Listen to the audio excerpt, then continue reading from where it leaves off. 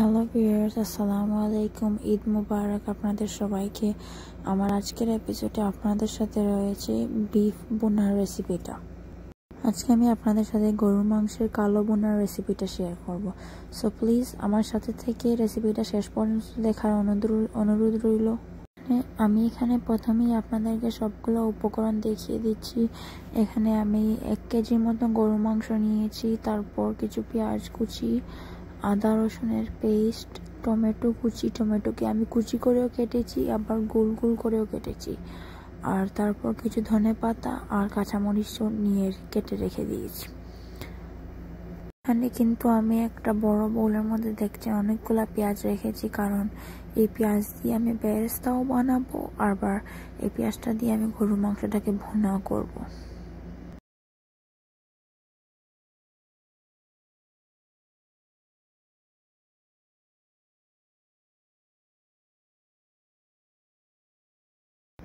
চলুন, এখন কথা না বাড়িয়ে আমরা আসলে মূল রেসিপিটাতে চলে যাই।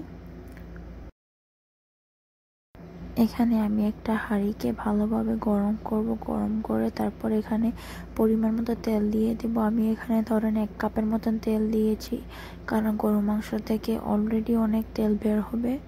তো এখানে আমি এক কাপের মতন তেল দিয়ে এটা তেলটা যতক্ষণ না গরম হবে ততক্ষণ ওয়েট করব। তেল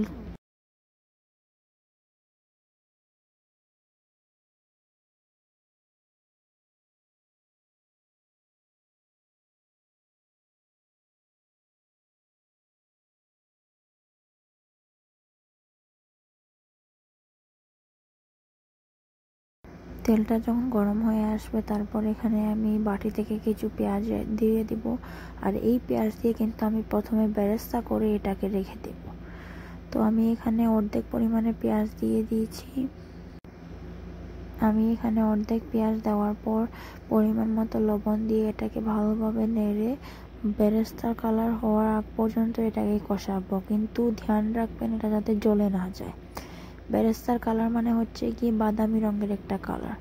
যাতে পুরোপুরি ব্ল্যাক হয়ে যায়, সেটা খেয়াল রাখবেন, সেটা যাতে না হয় না হবে, আপনার কালো বোনার টেস্টটা ভালো আসবে না, পুরা পুরা ভাব করবে। তো এখানে আমি এই পেঁয়াজটাকে দশ বিশ, দশ থেকে বিশ মিনিটের জন্য নেড়ে নেড়ে এটাকে হালকা বাদামি হয়ে আসা পর্যন্ত রেখে দেবো। এটা আস্তে আস্তে কষে যাবে।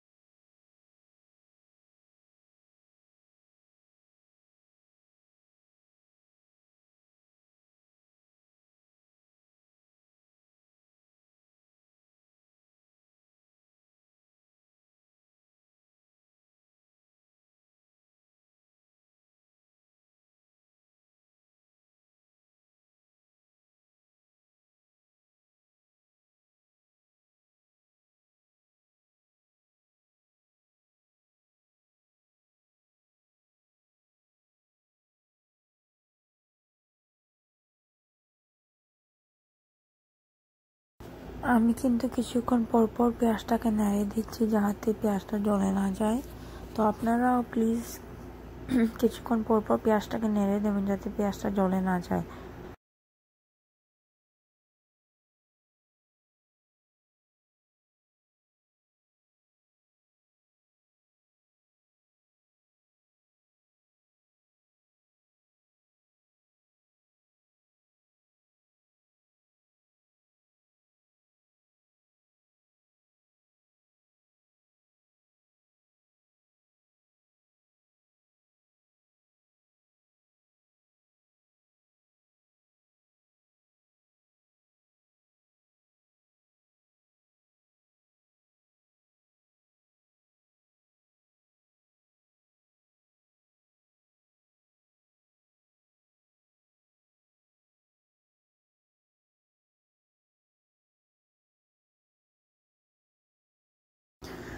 দশ মিনিটের মাথায় এসে দেখতেই পাচ্ছেন আপনারা এখানে যে আমার পেঁয়াজটা একটু বাদামি কালার হয়ে আসছে।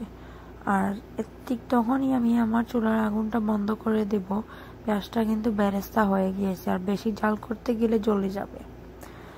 একই পাত্রের মধ্যে আমি কিন্তু ওই সেম তেলের মধ্যে বাকি যে পেঁয়াজগুলো রয়ে গিয়েছিল সেই পেঁয়াজগুলো দিয়ে দিয়ে তারপর সামান্য কিছু লবণ অ্যাড করব। যেহেতু আমি আগে লবণ দিয়েছি বেরেস্তার মধ্যে তাই এখানে আমি অল্প লবণ দিয়ে এটাকে ভালোভাবে নেড়ে মিশিয়ে নেব পেঁয়াজের সাথে। তারপর আমি এক চামচ আদা পেস্ট, এক চামচ রসুনের পেস্ট দিয়ে ভালোভাবে সবগুলোকে একসাথে মিশিয়ে নেব।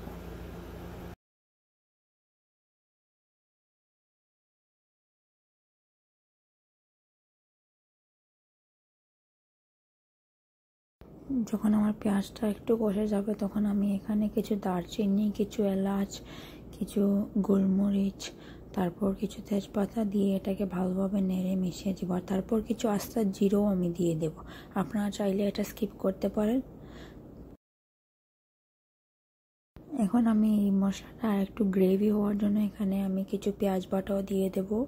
দিয়ে এটাকে ভালোভাবে কিছুক্ষণের জন্য কষাবো। যেহেতু আমি কালো বোনা করতেছি, সেজন্য তো আমি একটু ঝোলও দেবো না। এটা একটু কীরকম ড্রাই একটা গ্রেভি একটা তরকারি থাকবে, তাই আমি এটাকে আর একটু গ্রেভি করার জন্য এখানে পেঁয়াজ বাটা দিয়ে দিয়েছি।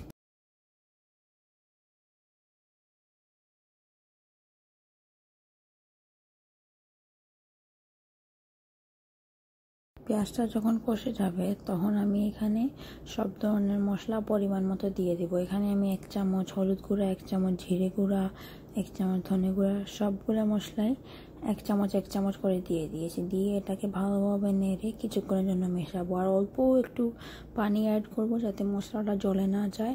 আর যখন আবার মশলাটা টানে টেনে আসবে, তখন আমি আবার আরও কিছু পানি দিয়ে এটাকে কষাবো।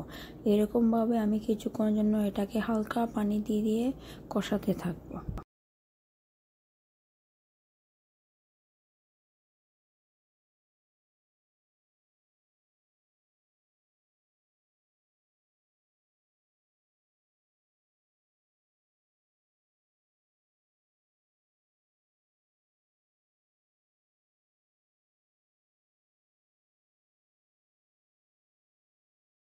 মশলাটাকে আমি প্রায় বিশ থেকে পঁচিশ মিনিটের জন্য কষিয়েছি। তারপরেই তো দেখতেই পাচ্ছি কীরকম তেলটা উপরের দিকে ভেসে উঠেছে। এ পর্যায়ে আমি ধুয়ে রাখা গরু মাংসগুলা মশলাটা দিয়ে দেব। দিয়ে এটাকে ভালোভাবে নেড়ে মিক্স করব, যাতে মশলাগুলা গরু মাংসের গায়ে ভালোভাবে লেগে যায়।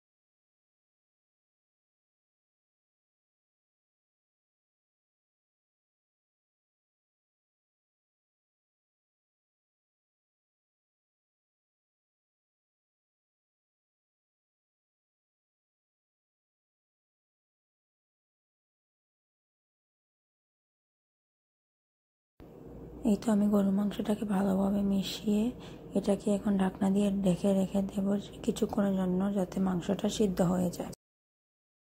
আমি আমি কিছুক্ষণ পরপরই ঢাকনাটা সরিয়ে মাংসটাকে নেড়ে দেব যাতে পাত্রের তলায় মাংসটা লেগে না যায়। মাংসের পাত্রের তলায় লেগে গেলে পুরোটা পুরা পুরা ভাব চলে আসবে, তাই আমি কিছুক্ষণ পরপরই এটাকে নেড়ে দেব।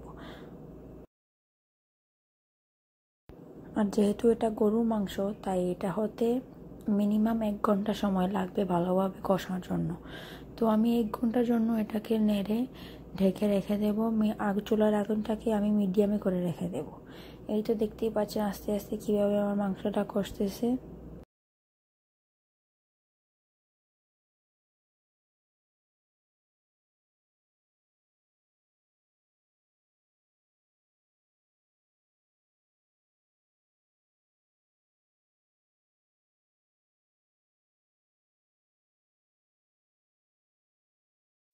এ পর্যায়ে আমার কালো বোনা গরু মাংসটা কষে গিয়েছে আর দেখতেই পাচ্ছেন কি সুন্দর একটা কালার হয়ে আসছে।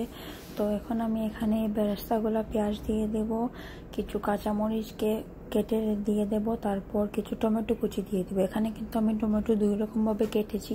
আপনাকে আমি, আপনাদেরকে আমি আগেও বলেছি, আপনারা চাইলে আপনাদের ইচ্ছে মতন কাটতে পারেন। আর তারপর কিছু ধনে পাতা উপর দিয়ে দিয়ে এটাকে ভালোভাবে নেড়ে মিশিয়ে নেব। এই তো তৈরি হয়ে গেল আমাদের ঝটপট কালো বোনা। আপনাদের কাছে যদি আমার রেসিপিটা ভালো লাগে, তাহলে প্লিজ আমার চ্যানেলটিতে সাবস্ক্রাইব করবেন। আমার ভিডিওটিতে লাইক কমেন্ট এবং শেয়ার করতে